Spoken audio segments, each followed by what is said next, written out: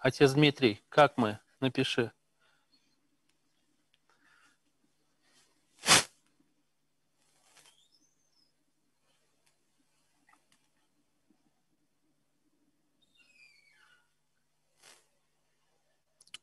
Добрый вечер, дорогие друзья. Добрый вечер а, всем, кто присоединился к нашей сегодняшней встрече на портале православия в Татарстане.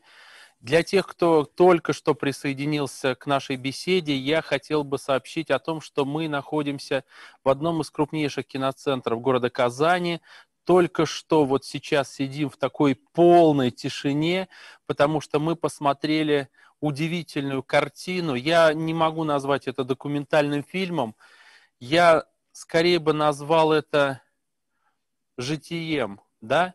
То есть вот для, пока я смотрел то, что я смог посмотреть, потому что здесь выходил, заходил, но то, что я увидел, у меня абсолютно ясно в моем сознании сложилось, что это житие. Почему? Объясню. Дело в том, что вот сегодня в этом зале собрались разные люди. Здесь есть семинаристы, учащиеся Казанской православной духовной семинарии, причем не только юные, молодые люди, но и люди взрослые. То есть у нас здесь и студенты очного отделения, и студенты отделения дополнительного образования. То есть это люди, которые получают вечернее образование. Здесь же у нас есть православная молодежь.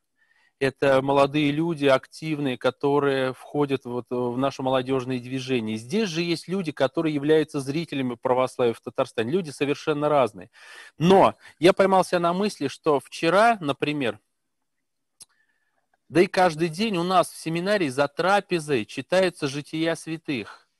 И иногда ловишься на мысли, что чтец, который читает, ну, иногда может быть не в настроении, иногда, ну, не вполне готовым к этому, читает жития святых, и ловишься на мысли, что он читает просто текст, а вот смысл этого чтения, он до него не всегда доходит. Вот, ну, читает он Иоанн Златоуст, вот вчера, позавчера, да, читали. А, и, и, и ребята, которые слушают это, тоже не вполне понимают то, что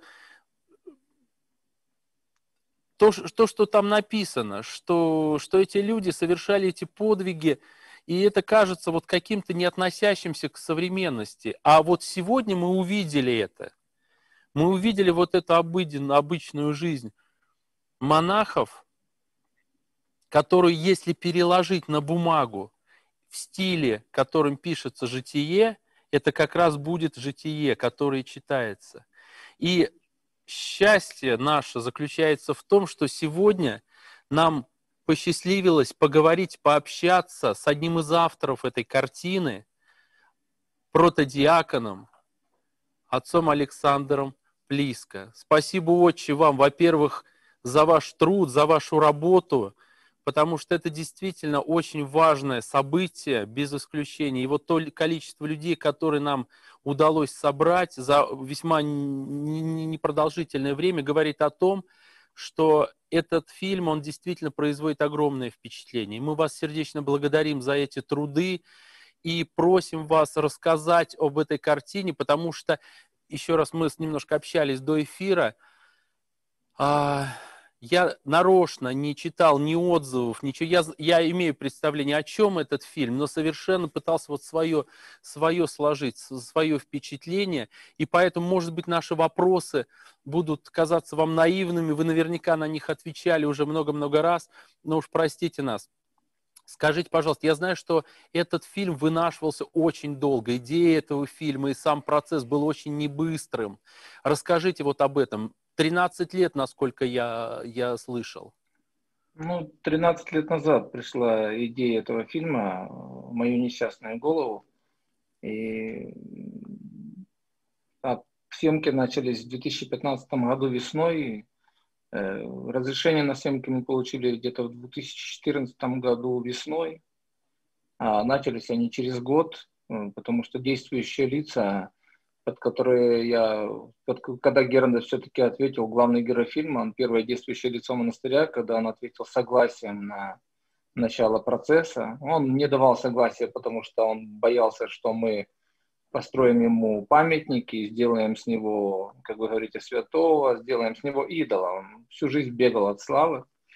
С другой стороны, он был человеком, который считал, что очень много в современном описании житий святых отсутствует э, какая-либо человеческая сторона, и у людей, читающих жития святых, такое впечатление, что все эти люди не жили не среди них, а ходили по небесам. Поэтому э, здесь тоже такой момент есть, что вот то, что вы сказали в начале, что фильм совершенно дает такое реальное представление о том, кто такие святые.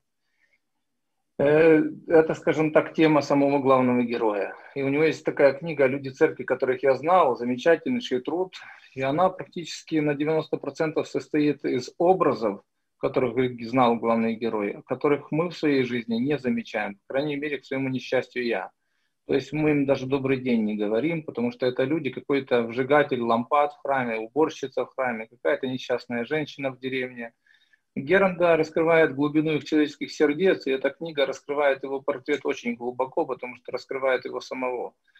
13 э, лет назад, э, когда я познакомился с этими людьми, я практически через полгода, а провел у них полгода в 2006 году, и у меня через пару месяцев знакомства уже почти каждому монаху было какое-то наименование, как в Киевчерской лавре преподобные. Один молчаливый, другой кроткий, третий не книжный, четвертый книжный, чудотворец и так далее, и послушливый.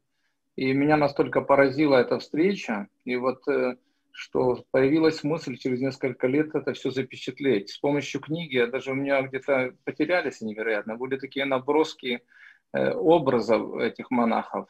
Но даже когда я начал делиться в смс-ках тогда, то мне сказали, что это нужно писать. Но так получилось, что я все-таки не смог это написать, описать. Но появилась мысль фильма, почему через кино.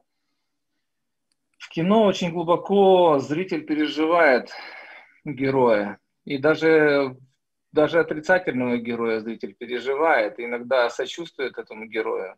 В этом фильме вы сегодня, наверное, большинство из вас ощутили во время пострига, что такое впечатление, что вас самих постригают. Но, по крайней мере, каждый дал себе отчет, готов ли, готов ли он на это. Я, я сам впервые так глубоко пережил постриг, несмотря на то, что я вживую видел их где-то 50 и переживал. Но глубже всего я сам э, только через камеру пережил постриг, насколько это прекрасно. Э, сами монахи, они были первыми цензорами нашего фильма. Они говорили, что Первые зрители были, были они, и это была вторая проекция в истории Лихиара, в трапезном монастыря, показ фильма. А это люди, которые не смотрят кино, они живут в прямом эфире, в реальности.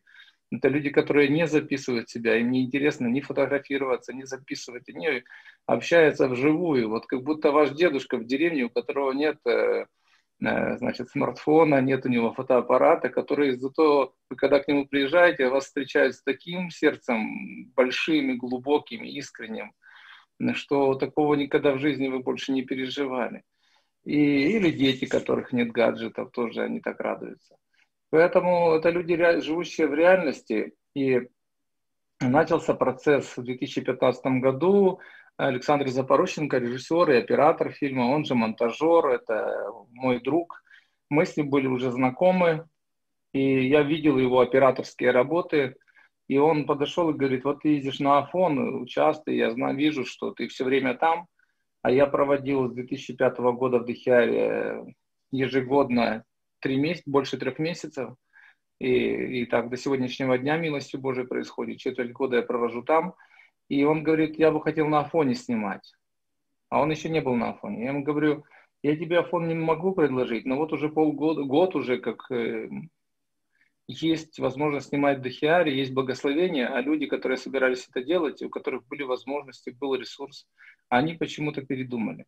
Поэтому у меня есть это благословение для съемок, мне лично. Поэтому мы можем отправляться, ничего уже не надо переспрашивать и снимать. И он, конечно, с большой кротостью к этому вопросу подошел. Он не, не хотел быть режиссером, он со смирением к этому подошел. И тоже это играло, мне кажется, огромную роль.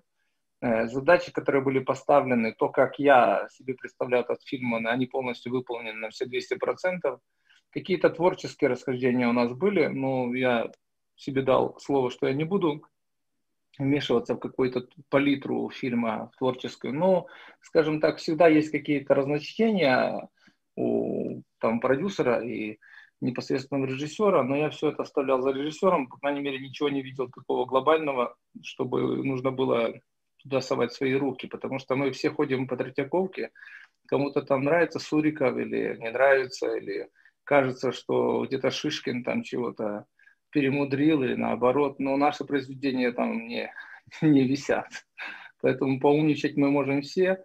Но начался процесс в 2015 года, году, и съемки длились 4 года, было больше 10 экспедиций, некоторые из них продолжались более двух месяцев. Э, я, мы жили, съемочная группа была из двух человек э, практически. Самое сложное было Александру Запорощенко писать еще и звук отдельно, ну, дополнительно фиксировать и дописывать и так далее. Ну, там, звуки природы и так далее. В связи с этим была проведена огромная работа впоследствии с э, саунд-дизайном фильма. Но, скажем так, мы отправились как два человека одержимых идеей, и которым никто не поверил, поэтому у нас не было бюджета, у нас не было мецената, у нас и сегодня нет на промо-бюджета, если честно, у нас нет промо-конторы, и у наших прокатчиков нет ресурса, потому что, э, ну, на самом деле это так, потому что минута рекламы на телевидении стоит тысячу зрителей. В общем, это все, но мы, тем не менее, находимся с самого начала процесса, вот как в фильме про шаги шла речь, вот так и мы отправились с доверием Богу, и, потому что имели благословение, разрешение старца на съемки. Нельзя было это... Но я понимал просто, что старец уходит, и если мы сейчас это не сделаем, я никогда себе это не прощу. И что был с ним знаком тогда уже на начало съемок 11 лет. И мы отправились, а когда мы отправились, то Бог начал посылать людей. Это как про шаги. Сделай пять шагов, остальные за тебя сделает Господь. И на самом деле, благодаря добрым людям, и вам в том числе, каждый зритель, кто приходит в зал, это член нашей команды. Мы очень рады на сегодняшний день, что это народный проект. Что мы очень рады тому, что во многих городах, где не хотят видеть фильм, а прокатчики наши тоже прекрасные люди, которые прокатывают такие фильмы, например, кино как «Молитва» Андрея Тарковского, сына Тарковского, который в прокате 6 тысяч человек собрал всего-навсего. Это прокат ради 6 тысяч человек, это, это даже не компенсация своего труда. Это такие мизерные средства, которые Просто это даже нельзя оплатить офис, где работают наши прокатчики. Но, это, но они, тем не менее, это делают ради света и ради культуры. То есть замечательные, прекрасные, абсолютно потрясающие люди. Это Константин Нафиков. И вот они такие фильмы, которые лежат на полу, а которые дистрибьюторы и прокатчики, акулы бизнеса обытирают ноги, естественно, не берут, и нас тоже. Вот они берут такие фильмы и пытаются с людям принести, пытаются как-то изменить культурную ситуацию в стране. Это потрясающие молодые люди, замечательные. Что касается самих съемок, они были э, сложными в том смысле, что Александр Запорощенко приехал с камерой, а пришлось с первого же дня пришлось работать с э, бетоном, с тачкой. Не ну потому, да, что кстати, его... этот момент удивительный. Очень простите, я вас перебиваю, потому что здесь вздох по залу прошел как раз вот на этой сцене, когда, видимо, что экшн-камерой снимал оператор, э, везя перед собой, толкает тачку с бетоном, заливая ее в опалубку вот на строительстве. И потом была вот эта сцена, если я правильно понял, там была, ну, драка, наверное, да? То есть это была какая-то а, ссора? Это... Э, относительно потасовки сейчас скажу, а ага. э, вот относительно момента с GoPro я его ругал, говорил Александр, ну и ругал его, когда он приходил заспанным, а он пытался жить так же, как и я, в режиме монастыря, вставать с монахами, Э, он там еще пытался даже правила монашеское выполнять. Ну, это совсем сложно. Утром он приходит не со светлыми глазами, там, после часа отдыха, а с заспанными. Я говорю, слушай, съемки страдают, не надо ходить ни на службу, ни на это.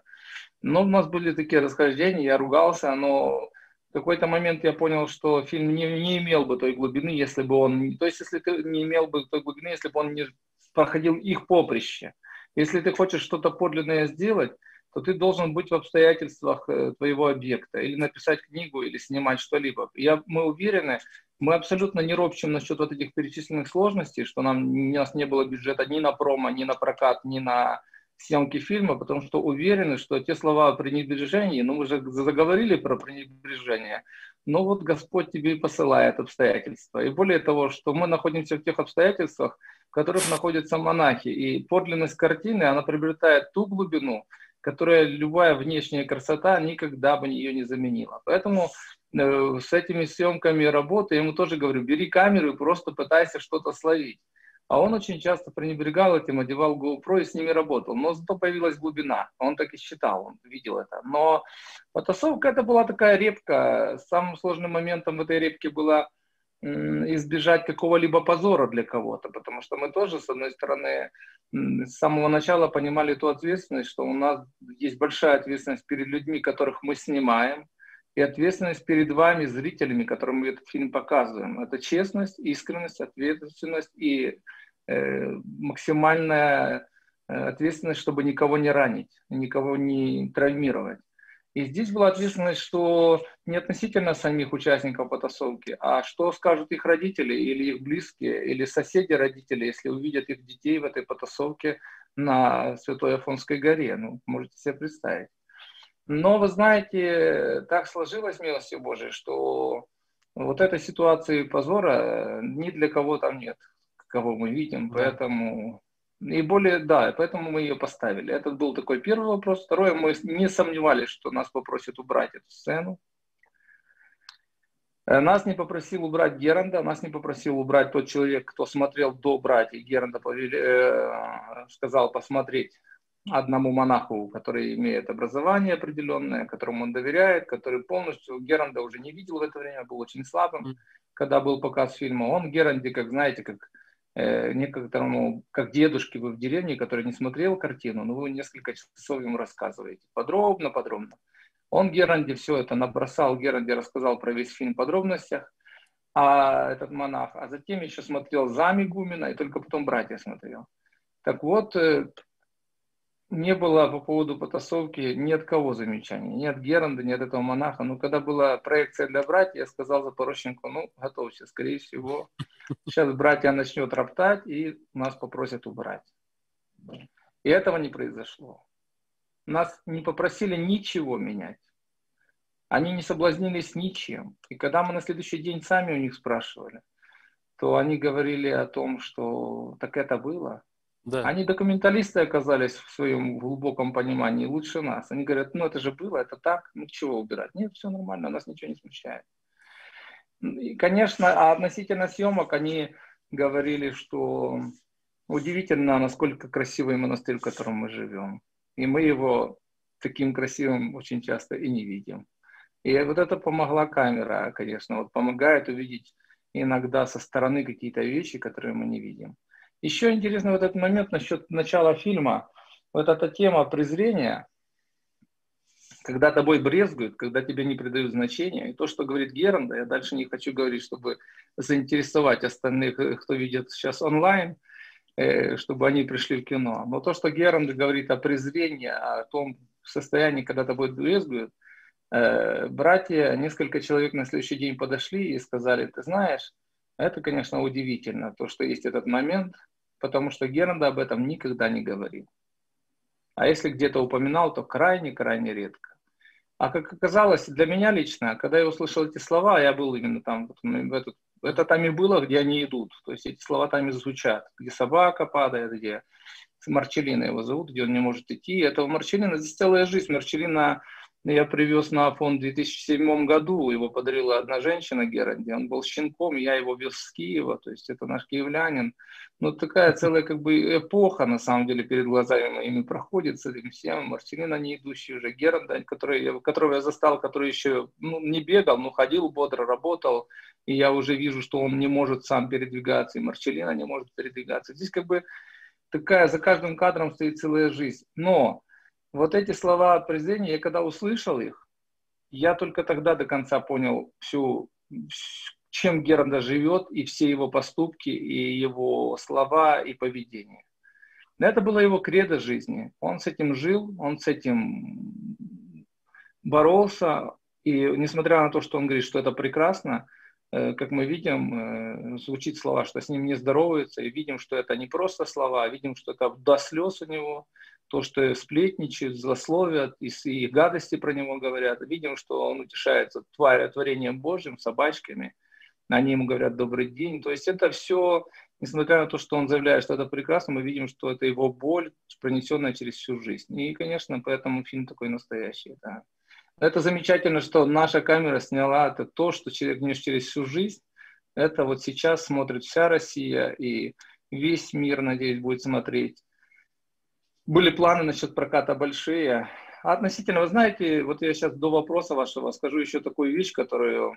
Я был в Петербурге в воскресенье, была у нас проекция в кинотеатре Роднина, в связи с тем, что я не был на премьере. В воскресенье был праздник Скоропослушницы, и главная реликвия этого монастыря, Дахиар. И там когда-то мы привозили икону на подворье Коневецкого монастыря в Санкт-Петербурге. Монахи Дахиара привезли список, и мы, значит, сделали такой праздник, и сделали такой показ, и милостью Божией я приехал – и я вот за час до показа подумал, ну что говорить, опять повторяться то, что я говорил в Москве или в Киеве, ну как-то неинтересно. Потом думаю, а зачем вообще санкт-петербургцам смотреть этот фильм?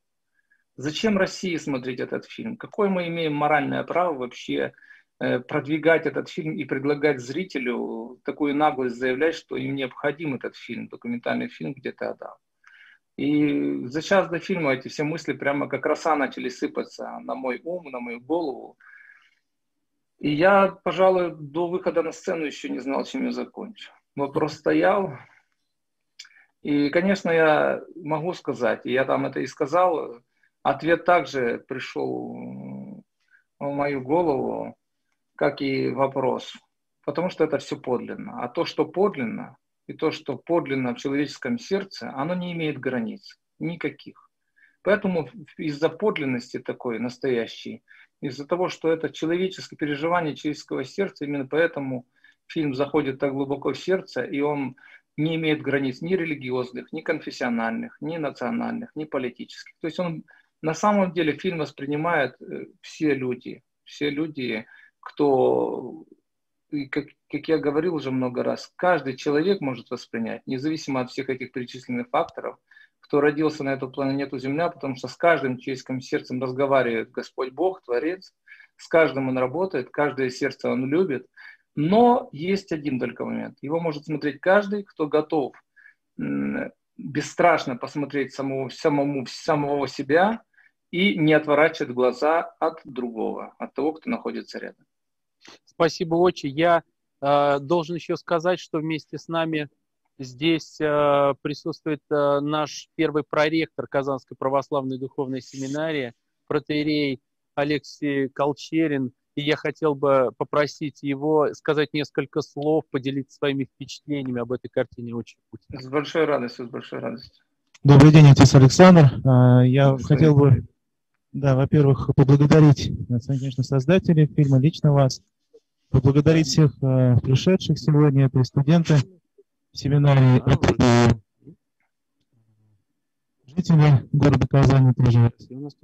Впечатлений очень много. Я действительно очень рад, что пришел сюда сегодня посмотреть, потому что Мы ну, еще минут 15 и все. Со временем сложно, вечернее время, но очень много впечатлений. Я бы сказал вам спасибо за то, что вы нам открыли совершенно неизвестный, наверное, большинству присутствующих здесь мир, мир э, Святой горы. То есть, ну, я думаю, большинство из нас никогда не было там и не будет, возможно.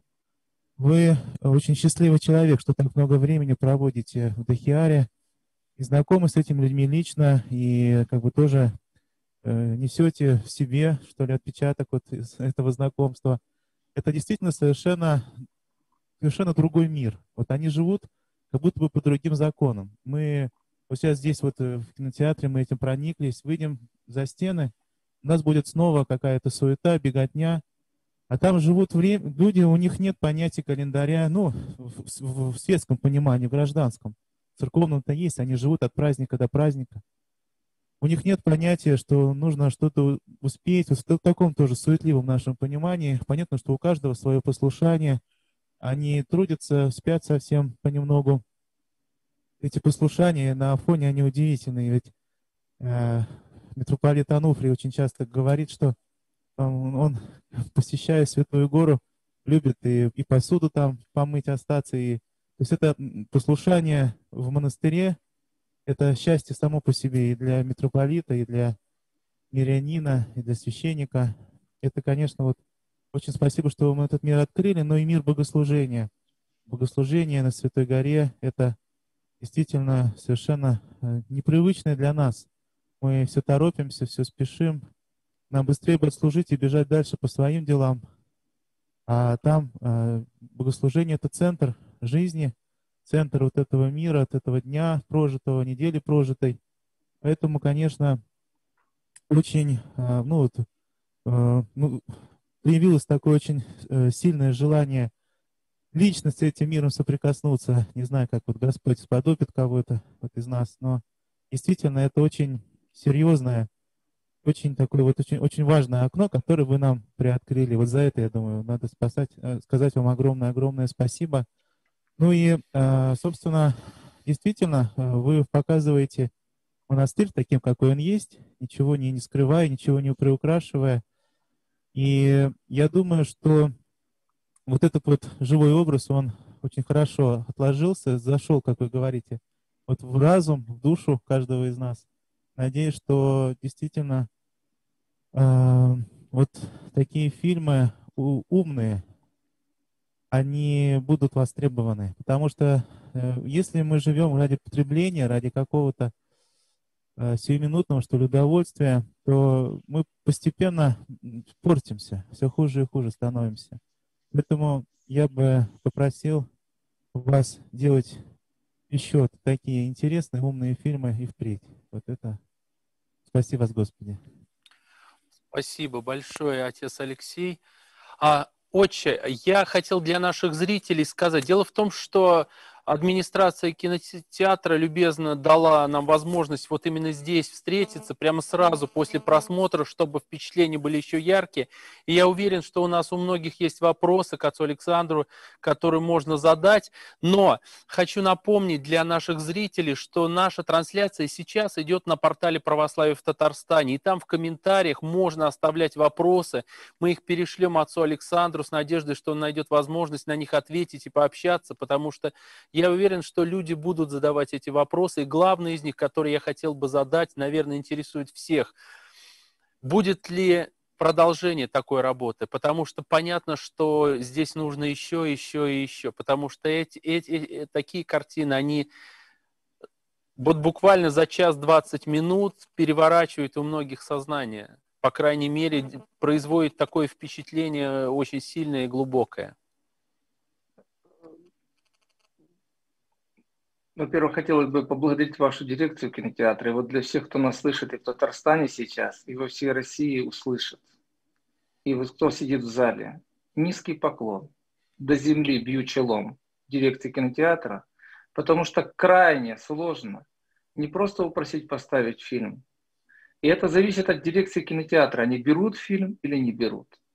И то, что в Благовещенске показывался фильм больше трех недель, может, может и час четвертый показывается. У нас тут тоже в маленьких городах. Это все зависит от дирекции кинотеатра, от того, как они смотрят, что будет, каким светлым будет ли наше дальнейшее существование в этой стране. И, а то, что выдают эфир вот так после фильма, ну, это на пальцах одной руки вот за два с половиной месяца, если честно. То есть вот Казань, вот дирекция вашего кинотеатра, они просто невероятные, просто не то, что молодцы, они великие люди на самом деле. Потому что такой эфир после вот так дать в зале поговорить, я вот вам, как уже специалист в этом вопросе, это крайне сложно, и никто навстречу в этом вопросе не идет. Это первое. Второе, мы работаем сейчас над картиной, э, мы не ищем, мы уходим целиком и полностью от того, чтобы найти какой-то предмет для съемок. Относительно Афона у нас есть мысли, и желание еще сделать фильм и еще с афонской темой, но следующий фильм, если его даст Бог в течение года закончить, он тоже снимается Александру Запорощенко на протяжении уже многих лет. И мы вот также надеемся эту картину завершить, э, но она не в монахах. И даже не, мужч... и даже не мужчина. Но в любом случае мы ждем продолжения. Это, это наш, она о том, не знаю, она, конечно, не о маме, но она о тех священных э, существах, которых мы называем женами, мамами, она о женщинах. И, но здесь, отец Алексей, благодарю вас за прекрасные слова. Э, конечно, Афон прекрасен но каждое человеческое сердце, я, знаете, конечно, крайне мало, 25 тысяч человек за два с половиной месяца в России, но это просто катастрофа. То, что фильм не интересен, то, что о фильме не знают, ну как не интересен, не интересен.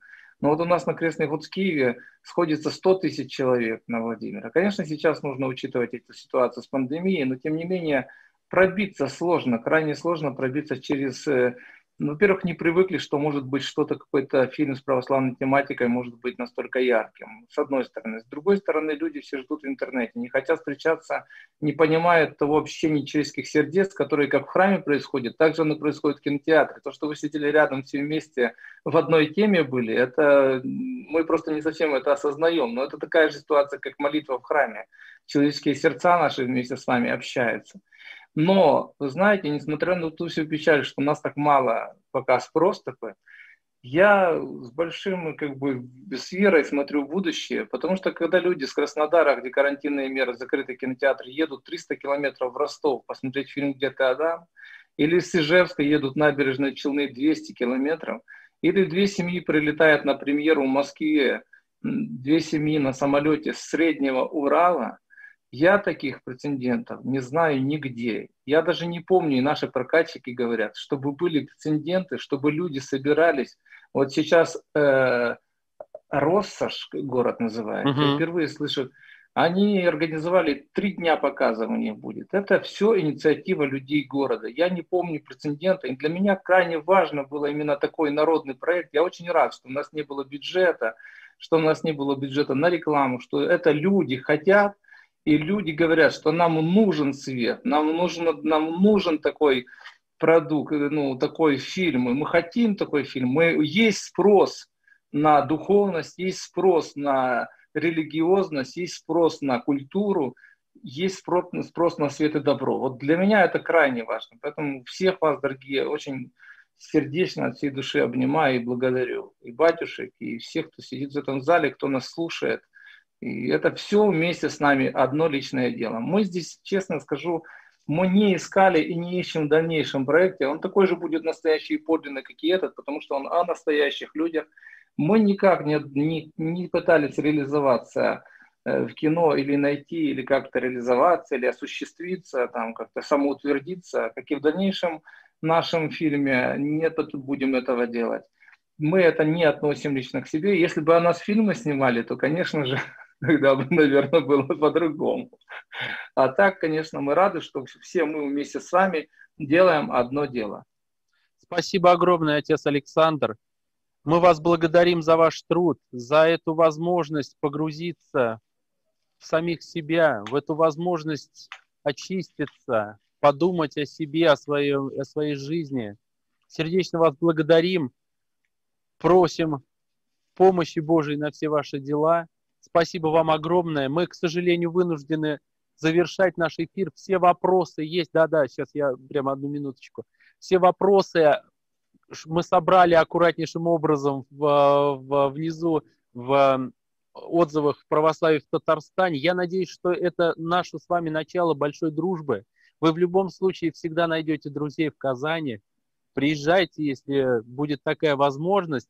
И я думаю, мы постараемся еще организовать э, просмотры здесь, потому что, уверяю вас, здесь, в Казани, мне говорили даже в кинотеатре, что на те, э, на те показы, которые были, мест свободных не было. То есть вот здесь сейчас максимум людей ну, по нынешним правилам, вот, которые позволительно находиться в зале. Так что я думаю, что это действительно востребованный фильм, востребованная картина, и мы будем еще ее транслировать и собирать людей. Вот, спасибо. Вам слово. Ой. От всей, от всей души, угу. от, всей, от всей души, от всего сердца благодарю. Прошу всех не молчать. кто как может. Но именно, не просто в комментариях на православие в Татарстане, а именно в своих аккаунтах, независимо сколько у вас подписчиков, два или три человека, это не имеет никакого значения. Разместите ли вы постер фильма или напишите два слова от своего сердца. Это будет очень большой поддержкой и фильму, и тому, что нас дальше ждет с вами впереди и так далее. Это огромное будет именно в своих соцсетях, в своих аккаунтах. Главное не молчать. Не молчать. А вам всем желаю здоровья и от всей души готов отвечать и готов на дружбу. И, ну, мое сердце открыто всем вам, дорогие друзья. Спасибо вам большое. Храни Господь. До свидания. Спасибо, спасибо. Спасибо всем, кто был с нами.